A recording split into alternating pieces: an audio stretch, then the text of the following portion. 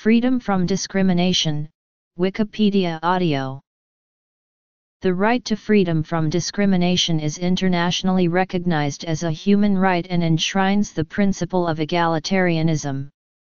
The right to freedom from discrimination is recognized in the Universal Declaration of Human Rights and enshrined in international human rights law through its inclusion in the International Covenant on Civil and Political Rights and the International Covenant on Economic, Social, and Cultural Rights.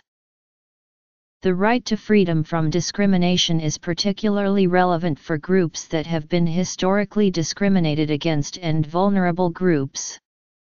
In this respect, the right to freedom from discrimination has been elaborated upon in the International Convention on the Elimination of All Forms of Racial Discrimination, the Convention on the Elimination of All Forms of Discrimination Against Women, and the Convention on the Rights of Persons with Disabilities.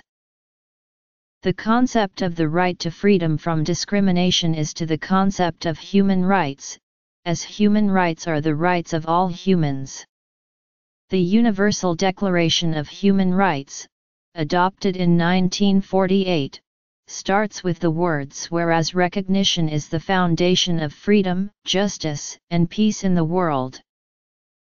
Human Rights Article 1 of the UDHR states All human beings are born free and equal in dignity and rights they are endowed with reason and conscience and should act towards one another in a spirit of brotherhood. Article 2 of the UDHR states Everyone is entitled to all the rights and freedoms set forth in this declaration, without distinction of any kind, such as race, color, sex, language, religion, political or other opinion, national or social origin, property, birth, or other status.